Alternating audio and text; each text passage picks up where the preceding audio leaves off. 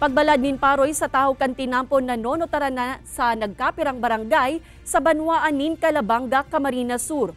Mga paraoma aminado sa dara kaining peligro sa mga motorista, alagad igwaman sindang pangapudan. Kung ano ini, aramon sa report. Nakabalad na paroy sa taho kan tinampo. Ini ang sasabat sa mga motorista na maagi sa tinampo na sakop kan mga barangay San Antonio, Santo Niño, asin Santa Cruz sa Banwaan Calabanga, Camarines Sur. Igwang porsyon na nagiging one-way na ang agihan, asin igwaman na sakop na ang bilog na dalan.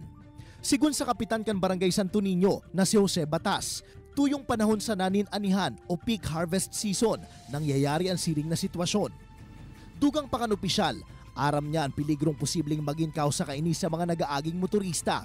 Alagad mayo masubot na maginibuan sa indang barangay, kundi magtaong konsiderasyon sa mga paraoma, urog na tamayo man ibang lugar na pwedeng pagbaladan kan paroy. O yun nga sila nakakalungkot kasi kahit naman talaga higpitan namin yung pagbabawal eh, kung may ipit naman yung kabuhayan.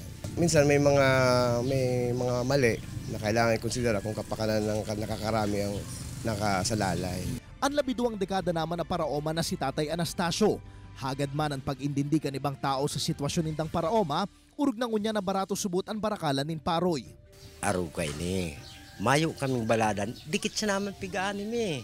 Dahil man kami nagtataho na maray sa tinampo. Pigtatawang espasyo sa mga para-trimobile, sa ining motor na mga service.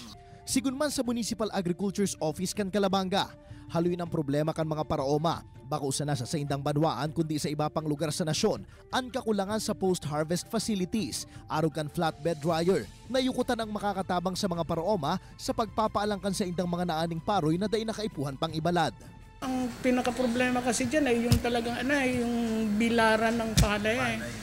Kulang na kulang dito sa ano sa Kalabanga kaya ginagamit ang ano ang ang kalsada sa pagbibilad ng palay. Igwaman ko ta ng sarong flatbed dryer sa barangay San Roque na pagsasadiri kan sarong kooperatiba.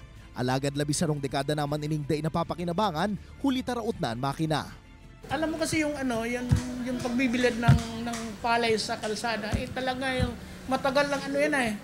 Matagal ng ugali ng magsasaka na dyan bumilad dahil walang ibang alternative na magagawa na talaga dyan sila bibilad.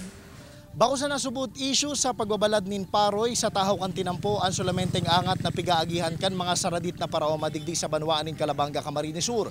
Para sa inda kay po na urug pang matauan nin tabang asin maninigong asistensya hali sa gobyerno nasyonal ang sektor kan agrikultura sa interong nasyon nganing dagos na mainaan ang mga siring na sitwasyon.